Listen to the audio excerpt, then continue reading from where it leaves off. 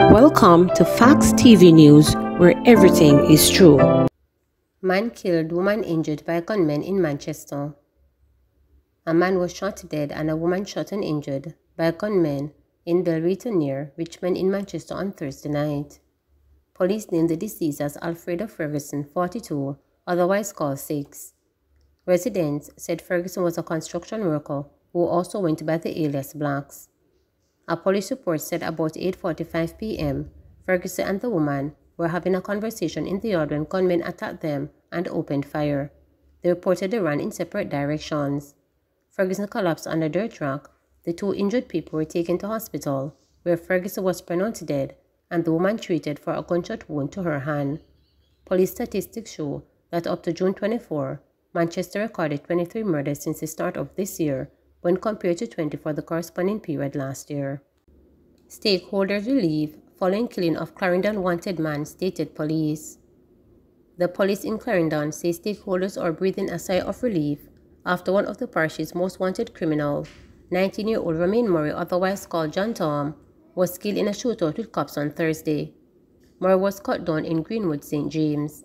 Murray, who headed Clarendon's most notorious list, is said to have been vicious in his demeanor and have been wreaking havoc across the parish for some time. The police say he was responsible for quite a few murders but has managed to elude capture. According to Senior Superintendent Carlos Russell, head of the Clarendon Police Division, he said that his team ventured into St. James to apprehend the young killer. He said Murray was cornered near a shop where he challenged the security team and was killed. Right now, the parish is very happy, and we have been seeing that as we have been talking to some people, it's just the immediate family who is mourning, because no matter how bad a person is, they're still family, you know, said Russell. According to Russell, despite being implicated in a number of murders across the parish, people have been reluctant in providing the police with information out of fear. Them afraid of him. People will say, it's him, we saw, but when you ask for a statement, they say no, me not no court, me not give no statement. Russell explained, asserting too that Murray had been present in his attacks. Murray was recently featured on the Jamaica Constabulary Wanted Wednesday campaign. Murray was responsible for the murders of a prominent businessman and a vendor in the parish recently. Teen boy charged after gun found on roof. A teen boy was arrested and charged on Wednesday following the seizure of an illegal gun and ammunition on Smith Lane in Kingston. He is charged with possession of a prohibited weapon and unauthorized possession of ammunition. The Central Police report that about 1 p.m., a team on an operation carried out a search at a premises where a Beretta 9mm pistol and a magazine containing eight 9mm cartridges were found on the roof. The teen was held in connection with the seizure. The teen is set to appear before the Kingston and St. Andrew Family Court on Thursday, July 6. Manchester police concerned about increase in major crime incidents linked to domestic violence. The Manchester police have expressed concern about an increase in major crime incidents such as murder linked to domestic violence. Territorial Officer for the Division, Deputy Superintendent Colin Johnson, said of the 23 murders recorded since the start of the year, five are domestic related. He said, despite the domestic violence numbers, overall, there is a 28% reduction in serious crimes in the parish. DSP Johnson said several migrant criminals, including a 17-year-old, have been charged for breaking and robberies. DSP Johnson was speaking at a domestic violence forum at Mandeville Baptist Church on Wednesday. Manchester, since the start of the year, we have seen uh, 23 murders in comparison to 22 for 2022. Now for 23, those 23 murders that have been recorded, five of those murders emanate out of domestic violence.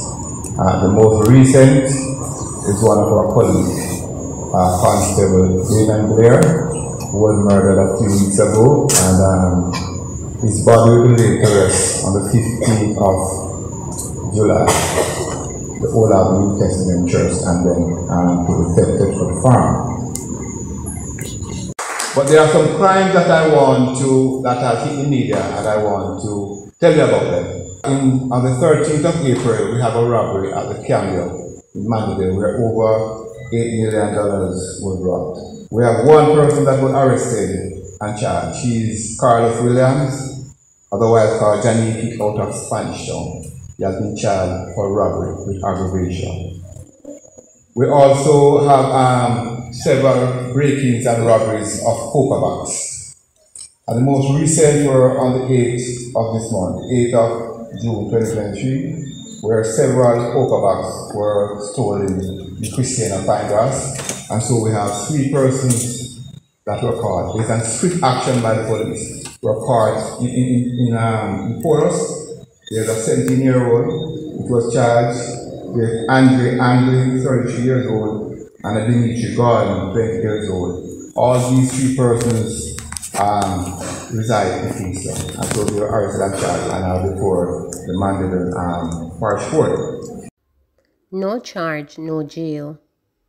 More than three years after its first promised legislation to end the frequently condemning practice of children deemed uncontrollable being sent to penal institutions, the Andrew Holness administration has finally acted. Minister of Education and Youth Fayval Williams on Tuesday tabled a bill in the House of Representatives titled An Act to Further Amend the Child Care and Protection Act CCPA almost three years to date after she made a statement in Parliament that the legislation was being fast-tracked. In a statement to the House at this time, Williams said, following the amendment of the CCPA, no child not charged with an offense would end up in a correctional facility. Fast forward three years, and Williams used a post cabinet media briefing on Wednesday to repeat the claim as she declared that the debate of the amendment would begin when the House of Representatives sits next Tuesday. Williams noted that the amended legislation will repeal Section 24 of the CCPA, which gives the court the power to make a correctional order for children brought before it by a parent or guardian who feels the child is uncontrollable. As soon as the law is passed, it will stop using the term uncontrollable and instead use the term behavioral issues and make provisions for the orders that may be made by the court in respect of such a child to include a residential therapeutic order or non-residential therapeutic order having regard to the results of a social inquiry report and a psychological or psychiatric report, stated Williams. She told the media briefing that with the amendment, any child who is taken before a court other than a child alleged to have committed an offense should be placed under the care of a children's officer for a specific period not exceeding three years instead of a probation and aftercare officer as currently obtained under Section 24 of the CCPA. That repeal of Section 24.2 will also enable Jamaica to become compliant with its obligations under notable international treaties on child justice and child rights and establish a fair and more equitable means of treating with cases involving children exhibiting behavioral challenges. Jamaica is signaling its commitment to promoting the best interests of the child, declared Williams. At present, Section 24 of the CCPA indicates that in a case where a parent or guardian proves to the court that he or she is unable to control his child, the court can make an order which could, among other things, result in the child being sent to a correctional center. That provision was rejected by then Minister without portfolio in the Ministry of National Security, Senator Matty Samuda, who, in February 2021, told the upper house that arrangements were being made to separate children deemed uncontrollable from those who have criminal charges or convicted. At that time, Samuda said there were 26 juveniles deemed uncontrollable who were in custody at the Department of Correctional Services. A correctional facility is simply not set up to deal with the nuisance issues facing juveniles deemed uncontrollable. In fact, our correctional officers are simply not trained to manage them and provide the necessary psychosocial support for those deemed uncontrollable.